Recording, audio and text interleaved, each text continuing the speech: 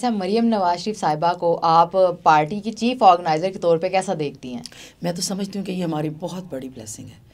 और शरीफ ख़ानदान के साथ ना बहुत अल्लाह ताला ने, अगर ट्रेजिडीज़ भी हैं तो उनको एक ब्लेसिंग भी है कि उनको एक बहुत खूबसूरत और बहुत दलेर औरतें मिली।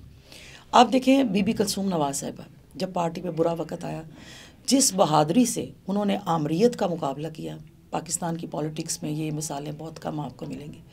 और फिर जब बीबी मरियम की बारी आई, आप देखें जिस तरह वो अपने वालद का हाथ पकड़ के बहुत कम ख़वातीन होती हैं और बीबी मरियम की जिस माहौल में तीन दफ़ा के वज़ी अजम की वो बेटी हैं।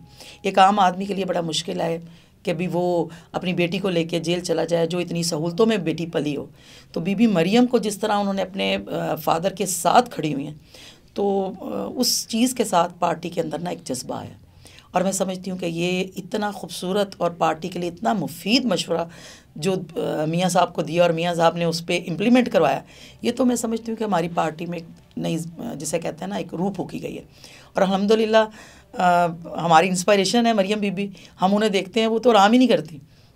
और उनकी वजह से फिर हम जैसे लोगों में भी जज्बा बढ़ता है और हम भी कहते हैं, नहीं यार, अगर वो चौबीस घंटे काम कर रही हैं तो हमें भी उनके साथ काम करना चाहिए। तो मैं समझती हूँ कि इस वक्त पूरी पार्टी में आप किसी बंदे को भी उठाएँगे तो हर बंदा जो है वो कुछ ना कुछ करना चाह रहा है।